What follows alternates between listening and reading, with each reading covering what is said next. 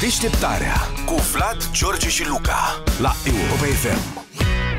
În China, ca să se urce nu știu ce munte de ăsta foarte popular, au instalat scări rulante, uriașe, sute de metri. Băi, ce idee! Sute de metri. Ce idee bună! Foarte bună, da. Îți dai seama scări rulante pe Transfăgăreșan? Mamă, e ce... Îți dai seama, chinezii... Eu aștept momentul în care România va evolua atât de mult încât să pună scări rulante funcționale la universitate, la pasaje să meargă scările Nu, că mai merg din când în când. Păi nu, dar să meargă să meargă- tot timpul, nu din Dar nu pe Transfăgăreșan. Băi, spre omul, spre babele încolo, niște Acolo scări e, rulante. n-ai, că e puțin de mers. Dar ar putea face un trotuar rulant. Păi nu, că acolo de unde lași mașina mai mergi un pic, popotecă... Păi nu mă, să le pui din bușteni, în loc de cum pui telecabina. A, e. Înțelegi? Scări rulante până la destinație. Da, dar scările rulante pe munte mie mi se par foarte... Mi se par obli- Așa am putea să mergem și noi la munte practic oricând. Da. Am duce la munte.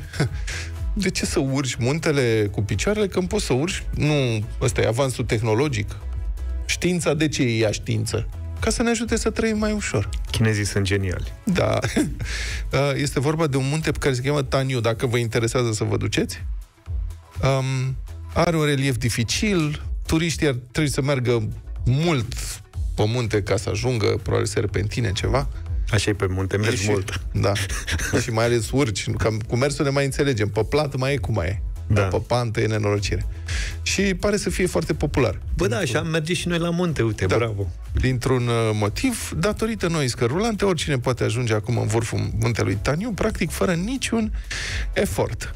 La început ne-am gândit să construim un teleferic, au zis chinezii.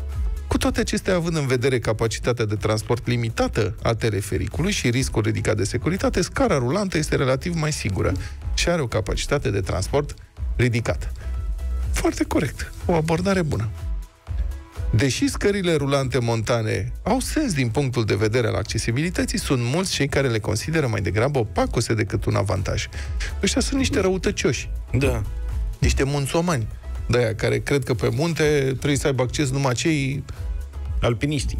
da, și cei care pot merge practic să urce. Unii săraci dintre noi, de ce nu avem puțină grijă față de persoanele cu dizabilități pe În burtă? față. Da, în față. Dizabilități de la mici. Da. Noi avem niște dizabilități de la mici, cărăm cu noi multe kilograme, la noi de ce nu se gândește nimeni? De noi de ce să nu avem dreptul să mergem și noi sus la Caraiman? Noi facem mișto, dar dacă ne ascultă David Neacșu acum, Vine și ne bate. E doar un exemplu. Cu pioletul. nici nu mai vorbește cu noi și ne pune să scoatem și fotografiile de pe Instagram cu el.